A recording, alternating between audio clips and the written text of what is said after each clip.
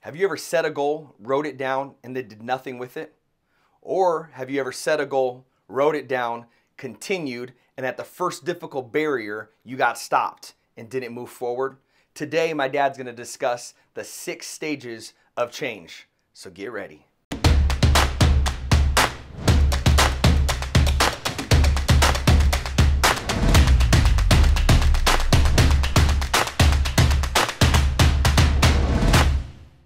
Readiness to change, or also known as the trans-theoretical model in research, has six stages of change. Stage one, pre-contemplation. Stage two, contemplation. Stage three is pre-action, sometimes called preparation. Stage four is the big one, that's action. Stage five is maintenance, and stage six is a two-part stage that's called the lapse and relapse. Stage one, pre-contemplation. This is where most people stay when you have no realization that there's an issue. So there's zero awareness at this level and zero self-control. At this stage, people around you may know you have an issue, but you're still completely unaware. And in the conversation of people talking about workouts or cutting out sugar, you are unaware that you have the same issue.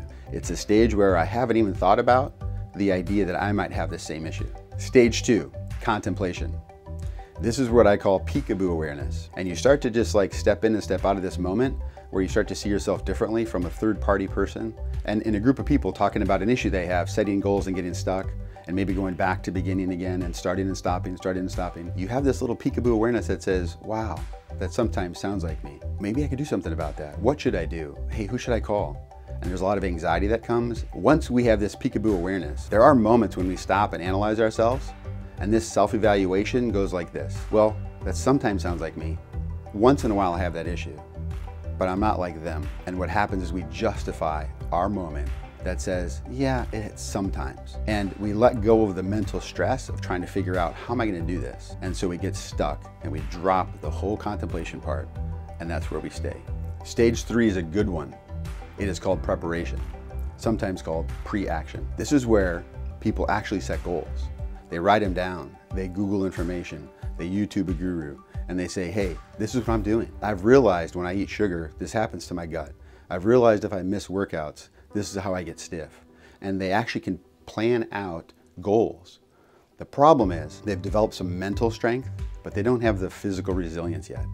And as they start to move into these goals to make sense of what they're doing, the pain, the injury, the stiffness, the whatever shows up and they get stuck. And because they have this thing called low challenge resilience, which is when they set goals, they do it privately and they don't tell a lot of people. They just go back to the beginning, reset a goal and try again. The bad news is they get stuck. The great news is they keep resetting goals and they keep building momentum and they keep trying and resetting and eventually they move into this next step. Stage four, action. This is when life starts to change. They've developed the peekaboo awareness. They've developed some self-awareness. They know when, they know where, they know how, they also know why, and they start moving. And because they've had some success, they actually open up into this area that we call high challenge resilience. Here's the difference. In pre-action, they set a goal and kept it private. In action, we set goals and we bring in friends, we recruit people, and we say, hey, help me with this. Or, hey, send me a verse, I need something, send me music. Send me something that motivates me because I need some help. The cool thing about bringing in a climbing partner is that they know exactly where you stand. You have the ability to call them, text them, ask them for help anytime in your stages. Once you become fully authentic, that allows you to become vulnerable. And once you're vulnerable, your climbing partner knows you as well as you know yourself. Two things start to happen. You become fully aware of yourself and your first person perspective. That's who you are and why who you are. But this amazing piece happens. You develop this third party awareness of yourself. And when you can see yourself in third person, you have no emotions tied in. You can see things as a fact. It either is or it isn't. And if we cut out the personal emotion like, hey, I'm no good at that, hey, I suck at that, hey, I failed a hundred times at that, that's gone. And now you just know facts and this ability to climb without any negative emotion. This allows you to hang on to your why that makes you fly. Let's fly. Stage five, maintenance. One word. Yeehaw! This is where you're at. You have the fully aware ability to change. The goal is now just to continue rolling. You have this thing called momentum. and momentum pushes people to success. You have this whole mapped out system. In this stage, that's the joy you will carry because you are now fully aware, fully authentic, and fully vulnerable with your climbing partner. You know exactly where and when and how you're triggered, and you can avoid those. Or if you push through those triggers so many times, you become desensitized to the triggers. They no longer affect you. And if they no longer affect you, they no longer trigger emotions in the gut. If they no longer trigger emotions in the gut, you're just factually killing it. Keep climbing, keep rolling, keep moving. In this stage, my goal for you now is to maintain your personal goals while you circle back and grab somebody that you can climb with.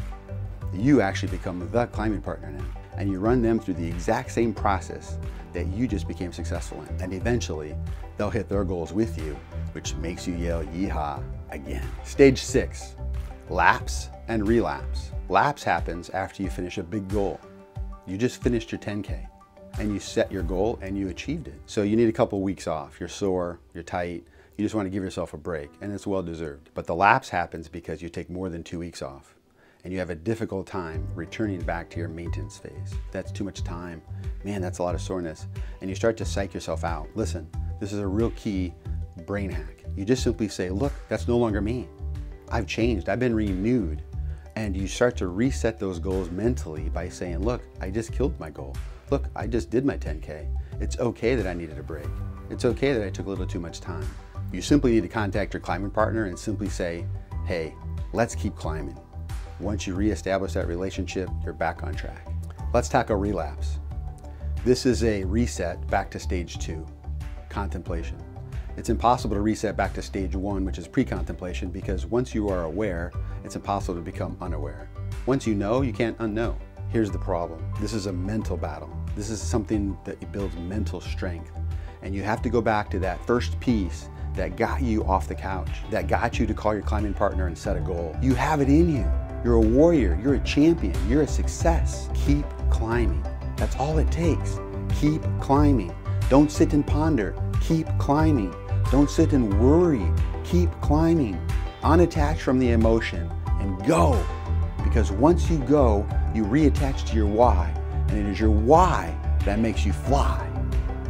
If you like this video, be sure to give us a thumbs up below and subscribe to this channel so you can stay up to date about all the stuff going on at RTM Clinic.